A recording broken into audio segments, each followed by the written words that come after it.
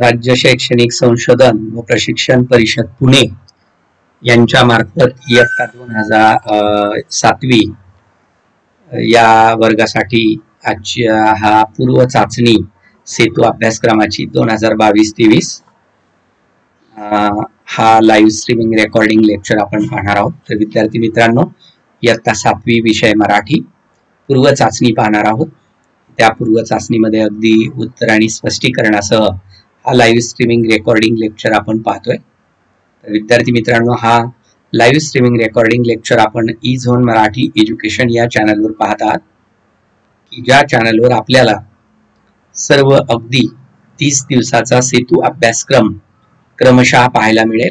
आणि पूर्व चाचणी आणि शेवटी होणारी जी उत्तर चाचणी आहे तिचा सुद्धा लाईव्ह स्ट्रीमिंग रेकॉर्डिंग लेक्चर तुम्हाला पाहायला मिळेल. जेणेकरून तुमच्या क्षमता विकसित होण्यासाठी तुम्हाला निश्चितच त्याची मदत होणार आहे. तर जर आपण या चॅनलला सबस्क्राईब केलं नसेल तर सबस्क्राईब करा लाईक करा.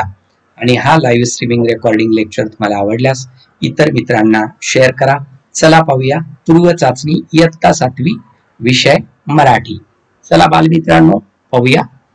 राज्य शैक्षणिक संशोधन प्रशिक्षण परिषद महाराष्ट्र पुणे. सेतू अभ्यास पूर्व चाचणी विषय मराठी. एकूण गुण वीस गुणांसाठी आहे. इयत्ता सातवी. विद्यार्थ्याचं नाव टाकायचंय तुम्हाला? पहिला उतारा दिलाय. त्या उतार्याचं वाचन करायचं आणि खाली काही प्रश्नांची उत्तर द्यायची उतारा दिलेला आहे पहा इथे. एका मासिकातील उतारा आहे. नुकताच एक प्रसंग वाचण्यात आला. एका धावण्याच्या शर्यतीत केनियाचा धावपटू हाबेल मुताई शर्यतीच्या अंतिम रेषेपासून अगदी काही फूट अंतरावर होता. पण तो गोंधळाने त्याला असं वाटलं की आपण शर्यत पूर्ण केली. तो धावायचं थांबला. त्याच्या अगदी पाठीमागे स्पॅनिश धावपटू इव्हान फर्नांडिस होता. हॅबेलची चूक त्याच्या लक्षात आली. तो अजून तुझी शर्यत पूर्ण झाली नाही. अंतिम रेषा पार कर म्हणून ओरडून सांगू लागला. पण त्याची भाषा हबेबला येत नसल्याने त्याला काहीच कळलं नव्हतं. शेवटी इव्हानने या केनियाच्या धावपटूला अक्षरशः अंतिम रेषेच्या पलीकडे ढकलून दिले आणि जिंकण्यास मदत केली. जर ठरवले असते तर इव्हान स्वतः पुढे जाऊन ही शर्यत जिंकू शकला असता पण त्यानं तसं केलं नाही. म्हणजे इव्हान आणि हबेब यांच्यामधला हा जेव्हा शर्यतीच्या वेळेचा जो प्रसंग आहे तो या मासिक उतार्यामधून घेतलेला आहे. तो आपण वाचलाय. आता त्याच्यानुसार काही प्रश्नांची उत्तर द्यायची आपल्याला. तर विद्यार्थी मित्रांनो हा सेतू अभ्यासक्रम हा तीस दिवस चालणारा हा उपक्रम आहे. तर तो आपल्याला पूर्ण करायचा आणि तिथून पुढेच आपल्याला सातवी या विषयाचा जो अभ्यासक्रम आहे तो तेव्हा शिकवायचा. म्हणजे अगोदर आपल्याला सेतू अभ्यासक्रम पूर्ण करायचा आहे. तर चला पूर्व चाचणीचा पाहूया. प्रश्न पहिल्याचा हा उत्तर आपण वाचन केलाय. त्याच्यावरून ही चार प्रश्न इथे दिलेली आहेत. ती पूर्ण करायची. म्हणजे याची उत्तरं त्या उत्तरामध्येच आहे परिच्छेदामध्ये आलेली दोन पुरुषवाचक सर्वनाम कोणती? पुरुषवाचक सर्वनाम कोणती आहेत? आपल्या लक्षात आलं असेल त्याच्यामध्ये इव्हान आणि तो जो दुसरा खेळाडू आहे दोघांची. इव्हान आणि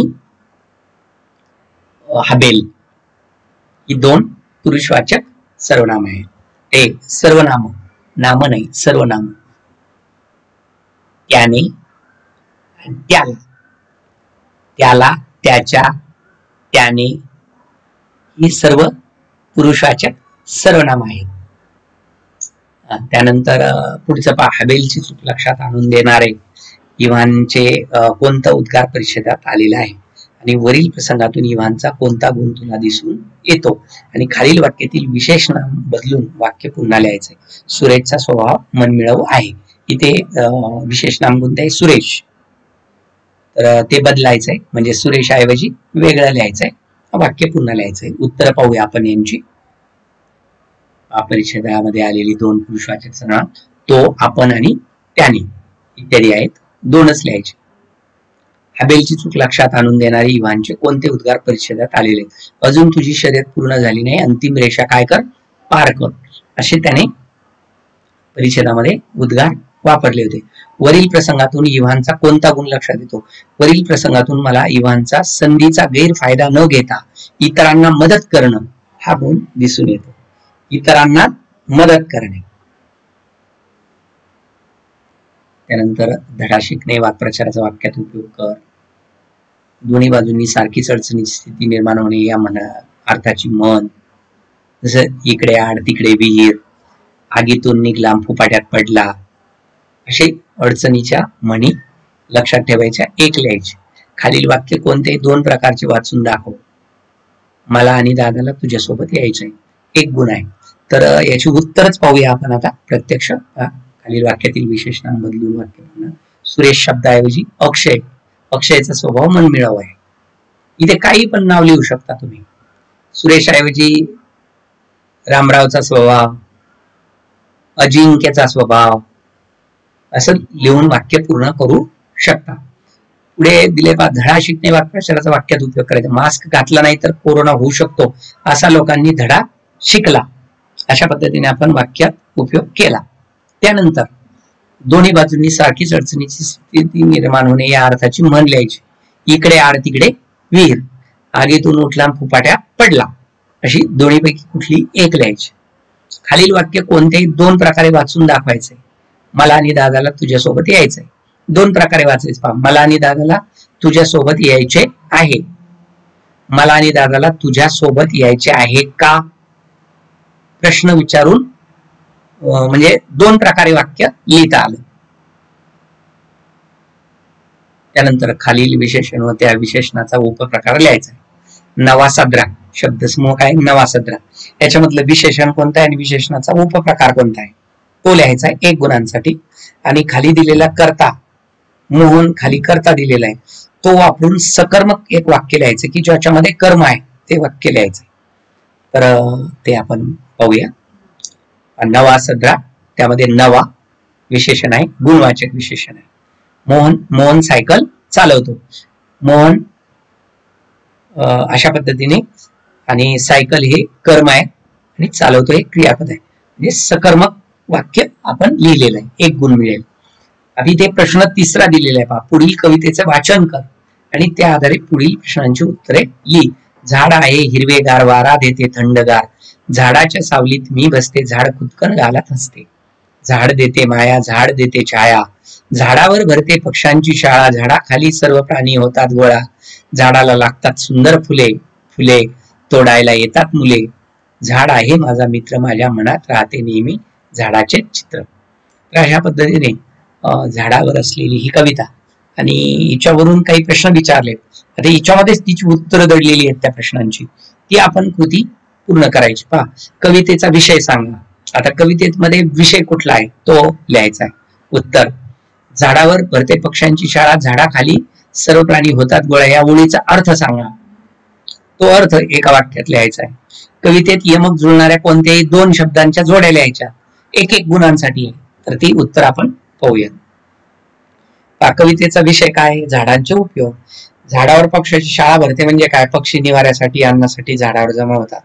तसेच सर्व प्राणी सावलीसाठी झाडाखाली गोळा होतात हा त्याचा अर्थ होतो.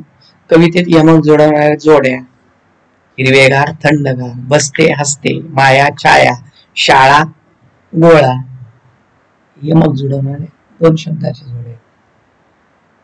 प्रश्न चार दिलेला आहे पा खाली दिलेल्या कोणत्याही एका विषयावर पाच ओळी माहिती लिहायची. तुमचं आवडतं पुस्तक त्याच्यावर पाच दहा ओळी लिहा तुम्ही म्हणणार विद्यार्थी मित्रांनो आवडत्या पुस्तकांपेक्षा दुसरा जो विषय आहे तो तुमच्या जास्त आवडीचा आहे. बरोबर? म्हणजेच आवडता पदार्थ. आवडता पदार्थ विचारला तर सर्वजण सांगतील. आवडते पुस्तक म्हटलं काही वेळ घेतील. इथे आवडता पदार्थ म्हणून आपण आवडत्या पदार्थाच्याच पाच ओळी इथे लिहिलेले आहेत. आता पहा खालील आवडता पदार्थ. हा विषय घेतलाय. त्याचं उत्तर लिहिले पहा पुरणपोळी हा माझा तसेच अनेकांचा आवडता पदार्थ. सण आले की पुरणपोळी करण्यासाठी गृहिणींची लगबग होते. गरमागरम तळ्यावरून डायरेक्ट ताटात आलेली स्वादिष्ट पुरणाने टम फुगलेली आणि साजूक तुपात थपथपलेली पुरणपोळी खाण्याची मजा काही औरच असते. कोण किती पुरणपोळ्या खातो यावर घराघरात पैजाही लावतात. पुरणपोळी या गोड पदार्थातून फक्त आध्यात्मिकच नव्हे तर आयुष्य कसे जगावे असा मोलाचा संदेश पण मिळतो. तर असा माझा आवडता पदार्थ आहे. एका विषयावर आपण पाच ओळी माहिती लिहायची होती. तीन गुण आपल्याला मिळणार होते. त्यानंतर प्रश्न पाचवा आहे शिक्षकांनी एखादी गोष्ट ऐकवली तुम्हाला. दहा ओळीत लिहायची तुम्हाला ती. शिक्षक तुम्हाला तोंडी सांगतील. आणि तीच गोष्ट तुम्हाला त्यांच्या शब्दामध्ये लिहायची भाषेत लिहायची. आणि ते गर्वाचे घर खाली एक गोष्ट संगीत सांगतो मी. तुम्ही वा, ऐकायची ती आणि नंतर लिहायची. एकदा रामरावाकडे खूप पाहुणे येणार होते. रामरावांनी मेजवानीचा भेद केला. वेळ रात्रीची होती म्हणून त्यांनी मोठी मेणबत्ती पेटवली आणि ते पाहुण्यांनी वाट पाहू लागली. मेणबत्ती आयटीच सभोवताली पाहू लागली. तिला गर्व झाला. ती म्हणाली येथे चंद्राचा प्रकाश येत नाही येथे सूर्याचा प्रकाश येत नाही येथे फक्त माझाच प्रकाश आहे. म्हणजे चंद्र सूर्यापेक्षा पण मी श्रेष्ठ आहे. असं कोण म्हटली? मेणबत्ती. रामरावांनी तिचं ते बोलणं ऐकलं. त्यांना मेणबत्तीचा राग आला. ते उठले आणि त्यांनी काय केलं? मुद्दाम खिडकी उघडली. खिडकीतून जोराचा वारा आला. त्यामुळे मेणबत्ती विझून गेली. म्हणजेच काय झालं? मेणबत्ती विजल्यामुळे तिचं गर्वहरण झालं. तिला खूप मोठा अहंकार निर्माण झाला होता की मी चंद्र सूर्यापेक्षाही जास्त श्रेष्ठ आहे. मी पण प्रकाश देऊ शकते दुसऱ्यांना. पण हे तिला माहीत नव्हतं की खूप गर्व कामाचा नाही अहंकार कामाचा नाही. हेच या कथेमधून लक्षात घ्यायचंय. तर अशा पद्धतीने प्रश्न पाच संपलेला आहे. यानंतर प्रश्न सहा आहे पा सोबत दिलेल्या चित्राविषयी तुला कोणती माहिती आहे?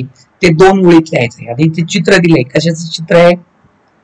परमवीर चक्र चिन्ह दिसत आहे जे की आपण पाहतो सैन्य दलामध्ये जे उत्कृष्ट कार्य करतात अगदी त्यांना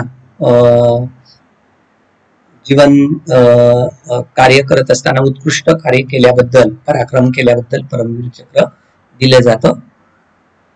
त्याविषयीची माहिती पहा. सोबत दिलेले हे चित्र परमवीर चक्र या पदकाचं आहे. परमवीर चक्र हा भारतातील एक सर्वोच्च सैन्य पुरस्कार आहे. युद्ध काळात गाजलेल्या अतुलनीय कामगिरीबाबत हा पुरस्कार देण्यात परमवीर चक्र एक कास्य धातूपासून बनवलेलं आहे. छोट्या आडव्या दांडीवर सहज फिरेल असं असतं. गडद जांभळी पट्टी असते. या पदकाचे डिझाईन सावित्रीबाई खानोलकर यांनी केलेलं आहे आणि सावित्रीबाई यांनी हिंदू पुराणातील ऋषी दधीची यांच्या कथेपासून प्रेरणा घेऊन हे मिळेल डिझाईन केलेलं आहे. ऋषी दधीजी यांनी इंद्रवज्र निर्माण करण्यासाठी आपल्या अस्थीचं दान केलं होतं. सावित्रीबाईंनी यांनी बनविलेल्या डिझाईन मध्ये पदकाला जोडण्यासाठी एक जांभळी रिबीन आहे आणि पदकावर इंद्रवज्राच्या चार प्रतिकृती आहेत ज्या ऋषी दधीजी यांनी केलेल्या समर्पणाचे प्रतीक आहेत. आणि मध्यभागी अशोक स्तंभ आहे. तर अशा पद्धतीची माहिती आपण ते चित्र पाहिल्यानंतर लिहिलेली आहे. तर अशा पद्धतीने ही जी आता सातवी या विषयाची मराठीची जी पूर्व चाचणी आहे पुनर्रचित सेतू अभ्यासक्रमाची ती आपण पाहिलेली. तर विद्यार्थी मित्रांनो असे रोज आपल्याला आता सेतू अभ्यासक्रमाचे तीस दिवस सेतू अभ्यासक्रमाचे तास पाहायचे त्याच्यामधल्या कृती सोडवायच्या कृती करून घ्यायच्या आणि मग आपल्याला पुन्हा शेवटी उत्तर चाचणी होणार आहे आपली. साधारण नऊ ऑगस्ट दरम्यान. आणि मग ती पूर्ण केल्यानंतर आपल्याला पुढील अभ्यासक्रमाला सुरुवात करायची. तेव्हा न चुकता रोज ई झोन मराठी एज्युकेशन या चॅनलवर येऊन आपण रोजचे जे डेलीचा अभ्यास आहे पहिला दिवस दुसरा दिवस असे तीस पहिले जसे गेल्या वर्षी दोन हजार एकवीस ला आपण पंचेचाळीस दिवस हा सेतू अभ्यासक्रम केला. या वर्षी पुनर्रचित सेतू अभ्यासक्रम हा तीस दिवसाचा ठेवण्यात आलेला आहे. तो पूर्ण करायचा जेणेकरून आपल्या ज्या मागील क्षमता आणि पुढे मिळणाऱ्या ज्या क्षमता दिसतील क्षमता आहेत त्या दोन्हींना सांधण्यासाठी म्हणजेच त्या समजून घेण्यासाठी तुम्हाला निश्चितच या सेतू अभ्यासक्रमाचा फायदा होणार आहे. तेव्हा आपण सर्वांनी शेवटपर्यंत हा लाईव्ह स्ट्रीमिंग रेकॉर्डिंग लेक्चर पाहिला. त्याबद्दल आपले सर्वांचे ई झोन मराठी धन्यवाद.